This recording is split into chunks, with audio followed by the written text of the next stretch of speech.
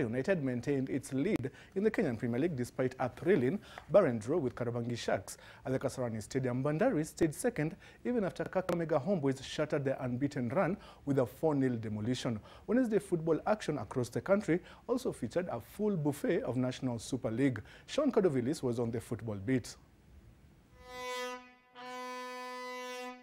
The pick of Wednesday's four Kenyan Premier League matches ended goalless as Kariobangi Sharks and Mathare United maintained their unbeaten runs.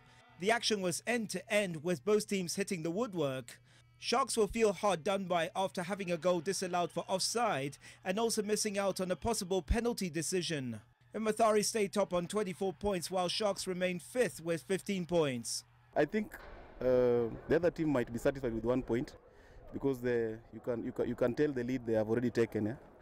Uh, if you compare them with us, uh, we are nine points adrift, although they have uh, one match uh, ahead of us. It's one point gained because if you look at the load that the players had to go 72 hours after the match on Sunday and also the quality of the opponent, you know, coming from um, um, almost a seven, eight days tournament, you, know, you gel a lot and especially when you're a champion you get so motivated.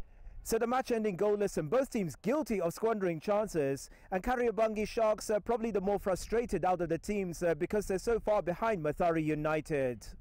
In other KPL matches Wednesday, player and interim coach Allan Wanga scored twice as Kakamega Homeboyz thrashed Bandari 4-0. Rwandan striker Jacques Tuyisenge scored twice as Gor Mahia beat Sony Sugar 2-0 and AFC Leopards suffered their third loss of the season losing 1-0 to Zoo.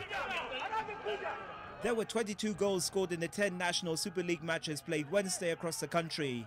Eldoret Youth and Kisumu All-Stars played out to a 1-1 draw at the Eldoret Showground. Joseph Oyugi put the hosts ahead, but Dennis Ochieng equalized for the visitors. Vile vijana wamecheza, mi sema they have played well, they have played better. Uh, having lost two consecutive games away, I think uh, there is something coming up.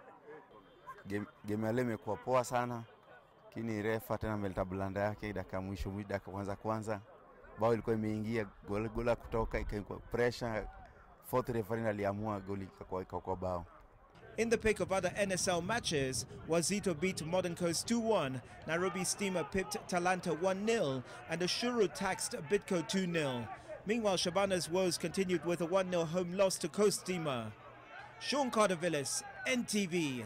Thank you.